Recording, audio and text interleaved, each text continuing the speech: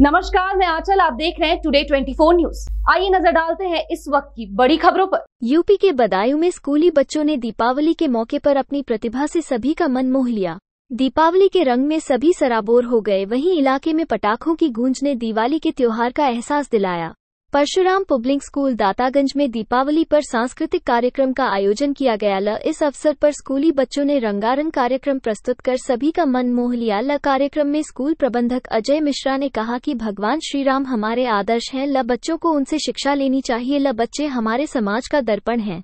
कोई भी त्योहार या उत्सव हो, सभी को मिलजुल कर मनाना चाहिए। ल इस दौरान प्रबंधक ने बच्चों को पुरस्कृत भी किया। ल इस मौके पर मोहम्मद नबी, पूनम गुप्ता, पूजा शर्मा, सलोनी पंकज, अमन सिंह, शरद, आकाश गुप्ता, रोशनी, अंजलि, काशमा, पूजा सिंह एवं कीर्ति आदि स्कूल स्टाफ मौजूद रहा अभी के लिए बस इतना ही। बने रहिए टुडे 24 न्यूज़ के साथ।